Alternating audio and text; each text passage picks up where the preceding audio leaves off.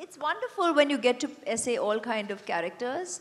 And um, I've had a great journey with all the directors I've worked with so far. And um, if Disney wants to come up with ideas yet with us, you're most welcome. a lot of the artists, technicians are always happy to collaborate and create characters that could be um, this um, engaging and uh, this relatable. And yeah, the journey would be fun. The experience would be fun. Ash, Ash, this side. Uh, is that you? See the light glare hai, so I Hi, can see that- someone standing. You're standing. Towards your left. Towards your left. oh, that Okay. side. Okay, hi. Hi. Yeah, Ash, great. how many days Hi. did it take uh, you to finish the f- uh, dubbing?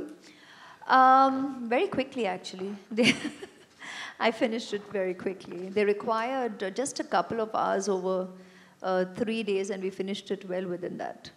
Uh, luckily, so that was good. Yeah, at the outset, you were like thinking, "Oh my god," because like I said, I was traveling, so the window of time, so you already jumped right into it. And then there was a day that they had committed to uh, filming this, so that's the window that needed to come in that that particular week. And um, yeah, we were able to accomplish it. Given a chance if any of your film is being dubbed, would you like to see dubbing on your face? Sorry?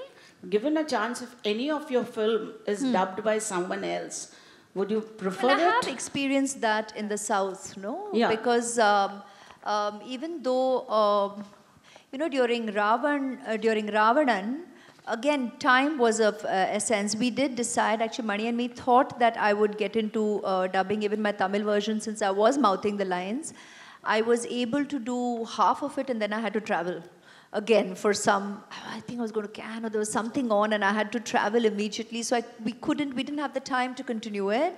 And then of course we went ahead with uh, getting it dubbed and they've done a terrific job. So i have experienced um, an actor in another language uh, and i'll call them actors because they have to be able to act a part as well you know and um, uh, they've done a terrific job um, uh, you know uh, conveying what i have on set and on celluloid. Um, and, um, you know, it's, it's been wonderful. I have seen that in my Tamil movies. What's your takeaway of Mistress of Evil?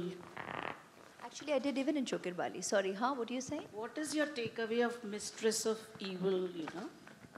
That the audience will have to decide what they need to take away from it.